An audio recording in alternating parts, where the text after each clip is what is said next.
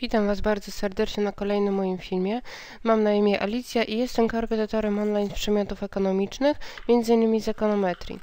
Jeżeli macie jakieś do mnie pytania, jak najbardziej możecie pisać od razu na adres mailowy zadania myślnik projekty małpa.wp.pl. Gdy będę miała możliwość, odpiszę na pewno a dzisiaj Wam chciałam pokazać, jak za pomocą programu e, Microsoft Excel e, w starej czy w nowej wersji wygenerować model ekonometryczny, jak widzicie z dwoma zmiennymi objaśniającymi. E, w postaci takiego arkusza e, raportu wyników, to można powiedzieć, tak? Raport e, analizy regresji. Jeżeli e, powiedzmy macie w postaci na przykład szeregu czasowego dane od 2005 roku, tu przykładowo do 2015 roku, jak policzymy nie 10, a 11 obserwacji e, dotyczących na przykład dwóch cech które mogą wpływać na trzecią, czyli na przykład liczba małżeństw, liczba dodatków mieszkaniowych miałaby wpływać na liczbę urodzeń. E, zgodnie z takim powiedzmy naszym rozumowaniem można by było sugerować, że im więcej liczby, e, im więcej jest zawartych małżeństw, tym liczba urodzeń dzieci może być wyższa, czyli korelacja spodziewamy się jest dodatnia. E, zarówno jeżeli rośnie liczba dodatków mieszkaniowych, to dzieci również teoretycznie może się więcej rodzić. E, takie nasze przypuszczenia e, mogą okazać się słuszne lub też nie. To znaczy, że te dwie zmienne, każda z nich z osobno w jakiś istotny sposób może wpływać na liczbę urodzeń, ale niekoniecznie. To, że nam się coś wydaje, że to powinno działać, nie znaczy, że będzie działać. Zawsze się z tym trzeba liczyć, bo nie zawsze jest tak, że teoria idzie za liczbami rzeczywistymi. I faktycznie albo jedna, albo e, ta, albo ta zmienna mogą wpływać na zmienną y, ale nie muszą. E, my nie musimy oznakowywać zmiennych, że to jest x1, to jest x3, a to jest y. Można stosować po prostu same kolumny tych liczb, a żeby wygenerować taki e, raport regresji, należy wejść w menu narzędzia. Tam się pojawia pozycja analiza danych. Jeżeli oczywiście nie macie tej pozycji w ogóle, ogóle tego narzędzia analiza danych w programie zainstalowanych, to musicie wejść, e, to chyba było narzędzia, zaraz muszę to cofnąć, narzędzia, E, i jest opcja dodatki. Tam wejdziecie w dodatki i jest zarówno pozycja Analysis Toolpack i najlepiej od razu dodać sobie dodatek Solver. Jeżeli e, tego oczywiście nie posiadacie. Jeżeli więc wejdziemy narzędzie analiza danych i wśród e, wielu propozycji przejdziemy do pozycji regresja, klikniemy OK, to w pozycji zakres wejściowy Y tu podajemy, e, przyciągając dane dotyczące zmiennej, dla której budujemy model, a y, zakres wejściowy X e, zaznaczamy najlepiej e, wszystkie dane dotyczące Xów, zarówno jaka jest nazwa, jak i wartości z tych 11 okresów. Teraz tak, tutaj czy dane zapiszemy w postaci wierszy czy kolumn nie ma znaczenia, ale powiedzmy ja tutaj zapisałam w postaci kolumn. Jeżeli klikniemy opcję, e, zaznaczymy tytuły, to w, e, będzie wygenerowana nazwa x1, x3 i y e, w raporcie. Jeżeli tego nie zrobimy, to w tym momencie nie zaznaczamy w ogóle do obszaru x1, x3 i y, czyli tej kolumny, e, tych, e, tych wiersza drugiego z tych trzech kolumn, czyli byśmy mieli dane od trzeciego wiersza do trzynastego, e, czyli by było od D1, D3 do D13 i od B3 do C13, jeżeli oczywiście wybieram dwie zmienne. Mogę oczywiście, e, ja kliknąć w tym momencie e, tutaj opcję nowy arkusz, jak najbardziej, ale jeżeli e, i tutaj trzeba wpisać jakieś na przykład słowo model. Gdy oczywiście kliknę OK, to już zostanie wygenerowany model. Ja jednak chcę skorzystać z możliwości wklejenia w określone miejsce, tylko że zaznaczam, najlepiej jest wybrać od razu na przykład składniki reszty resztowe. Jeżeli kliknę opcję składniki resztowe, to wówczas wygenerowane zostaną od razu reszty, jakie powstaną w modelu. Jak wiemy, każdy model jakieś reszty wygeneruje, e, choć często im mniejsze, tym lepiej dla modelu.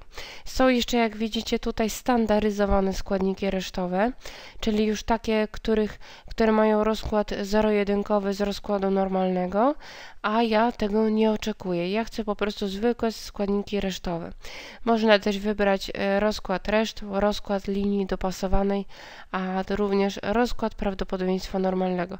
E, te rzeczy Oczywiście, że można wygenerować, ale nie są tak e, potrzebne jak e, najważniejsza pozycja składniki resztowe. Gdy wybiorę zakres wyjściowy, na przykład już lekko pod spodem e, tutaj tego, tych danych wejściowych i do, teraz kliknę OK, otrzymuję model. E, w pierwszym momencie on nie jest w ogóle sformatowany. E, wszystko wydaje się takie nieczytelne, dlatego ja od razu zmniejszę liczbę e, tych miejsc po przecinku, żeby to było bardziej dla nas czytelne.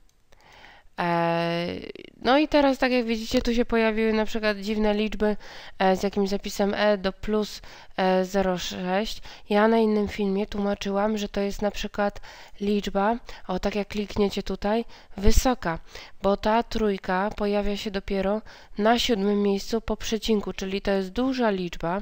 Zobaczcie, tu jest e, trzy kolejne, trójka jest na trzecim miejscu e, i ten zapis taki skrócony mówi, że to jest 3,7 razy 10 do szóstej potęgi, czyli trójka pojawia się, jak mówiłam, na szóstym miejscu, pomyłka, na szóstym miejscu za zerem. E, te generalnie liczby pokaz można tak zostawić, można je też e, zapisać w zwykłym formacie, tu akurat one nie mają większego znaczenia, możemy takie zostawić. Ale e, generalnie najważniejsza jest pozycja. R kwadrat, zaznaczę ją kolorem po grubie, e, błąd standardowy reszt też pogrubimy. E, ważne są te współczynniki, które tutaj mamy, pogrubimy, statystyka T studenta i wartość P. Tam, gdzie powiedzmy wyniki niby są po zaokrągleniu takie, o zróbmy tak, o, e, bardzo niewielkie, to lepiej jednak zwiększyć liczbę miejsc po przecinku. No i program potrafi nam wygenerować e, reszty z modelu. Jak po zaokrągleniu do trzech miejsc do przecinka, po przecinku są bardziej e, one mm, widoczne. I co teraz możemy zobaczyć? Na pewno to, że to są oszacowane parametry strukturalne, ile wynosi każda alfa, alfa 0, alfa 1, alfa 2, czyli te dwie liczby, które stoją przy x1 i x2. I teraz, jeżeli chcemy zapisać oszacowany model, to muszę zapisać y równa się ten wynik plus ten wynik razy to plus ten wynik razy to. To, co tutaj podałam, to jest dopiero oszacowany model. Jak widzimy, model raczej będzie dość wysokiej jakości. Dlaczego? Bo statystyka te studenta dla oszacowanych dwóch parametrów, które stoją przy zmiennych objaśniających, przekracza 2 co do wartości względnej, co świadczy jakości, o wysokiej jakości modelu. E, dodatkowo, jeżeli patrzymy na wartość P, to każda z wartości P dla zmiennych objaśniających przekracza 5% jako ten poziom istotności, co świadczy o tym zarówno x1 i x2 oddzielnie istotnie wpływa na y, co bardzo dobrze świadczy o modelu. To był test istotności testu studenta, tak w wielkim telegraficznym skrócie rzecz jasna.